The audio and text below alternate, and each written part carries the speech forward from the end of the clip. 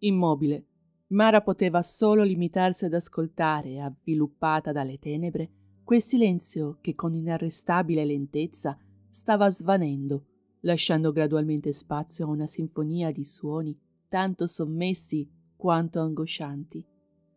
L'unica possibilità della donna era quella di cercare appiglio a ridosso di uno sdruccioloso concetto chiamato speranza.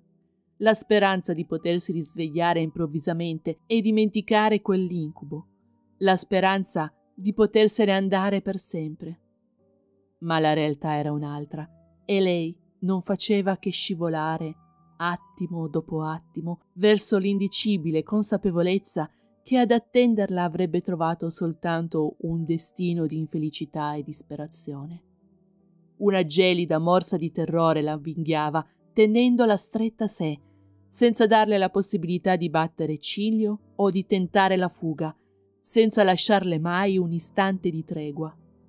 Mara oramai era costretta a subire l'esistenza di un nuovo mondo inesplorato, nel quale regnavano le peggiori emozioni che avesse mai sperimentato. Aveva perduto la reale cognizione del tempo dall'ultima volta che le era stato concesso di vedere la luce. Rimaneva sempre allerta, sempre in ascolto. In quella sua discesa verso la rassegnazione, qualche volta ritrovava la forza ad immaginare che si sarebbe verificato un miracolo, manifestata una via per sottrarsi all'orrore che la circondava. Questo accadeva principalmente quando identificava certi suoni ovattati e distanti, che forse potevano essere i passi e le voci di qualcuno che l'avrebbero tratta in salvo. Voleva crederlo a tutti i costi, ma come avrebbero potuto trovarla, volerla, desiderare di avere a che fare con una persona come lei?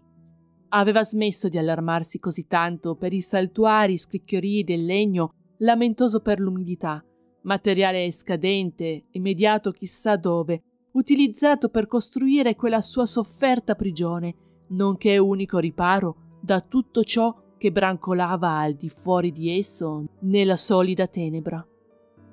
L'attenzione della donna oramai si stava focalizzando verso quel mondo esterno, popolato da cose che assumevano via via sembianze sempre più definite nei suoi pensieri, forme che si rivelavano nell'agghiacciante ovvietà della propria natura.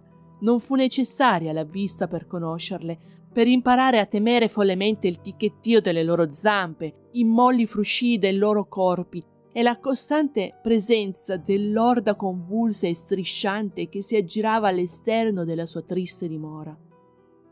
Esseri abominevoli avevano scovato il suo penoso domicilio e la scrutavano, con sguardi ciechi, dei pertugi, sempre più numerosi, che si formavano nelle intersezioni fra le pareti.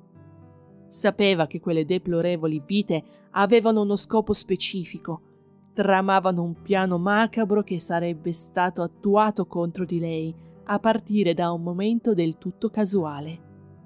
Udì un gorgoglio vicino lei, un suono liquido, molto distinto. Sperò nello scroscio di un corso d'acqua impazzito che avrebbe trascinato via tutto, portandola lontano. Poi un piccolo tonfo, il rumore che potrebbe fare un frutto troppo maturo cadendo al suolo. Fece molto fatica ad individuare la fonte dei nuovi rumori, quindi pose la massima attenzione nell'ascoltare e comprese che provenivano dalla sua stessa gola. Non era semplice saliva, oramai lo aveva capito. Avrebbe voluto urlare e dimenarsi, impiegò ogni energia rimasta per cercare di rigurgitare e dare sfogo a quegli strilli inumani, figli di un panico cieco che covava nell'animo straziato. Uno dei suoi timori si era manifestato in quel frangente, ma la pura e semplice verità era che una parte della sua coscienza si stava già rassegnando all'inevitabile da un pezzo. Infatti, le creature avevano già cominciato a divorarla, ma lei non era riuscita a rendersene conto da subito. Era certa del fatto che un convivio di immondi parassiti stesse banchettando nei recessi del suo organismo. Con rammarico attribuì una scontata, quanto repellente spiegazione a certi suoni sommessi che la tormentavano da tempo. A volte si domandava per quanto sarebbe durato tutto questo. Pensava spesso al passato, alle sue vittime, alle famiglie che aveva distrutto, al sangue. Avrebbe potuto trovarsi un buon lavoro e vivere una vita onesta, invece di scegliere una strada di discesa verso un baratro di perdizione.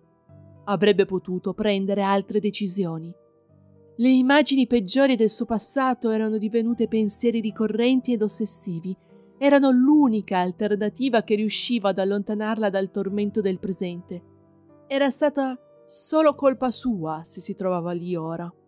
Perché non aveva accettato di scontare la pena, una giusta e normale, normalissima pena? Il destino che spetta agli assassini che vengono arrestati non avrebbe dovuto tentare l'evasione dal carcere di massima sicurezza. Aveva corso un rischio stupido ed ora stava pagando. Chissà dov'era il suo compagno, il suo adorato complice. Lo avrebbe rivisto? Era l'unica persona che lei avesse mai amato, lei, cui non importava di nessuno, lei che aveva sempre usato le persone per i propri scopi. Ma oramai aveva oltrepassato certi dubbi. La certezza era che non lo avrebbe mai rivisto, mai più, neanche in un'altra vita. Non avrebbe più visto niente e nessuno. Aveva fatto di tutto per sfuggire all'inferno della permanenza in carcere tanto insopportabile, e forse l'inferno era proprio ciò che stava attraversando ora. Perché Mara non avrebbe mai potuto immaginare che dopo la morte la sua anima sarebbe rimasta prigioniera del corpo.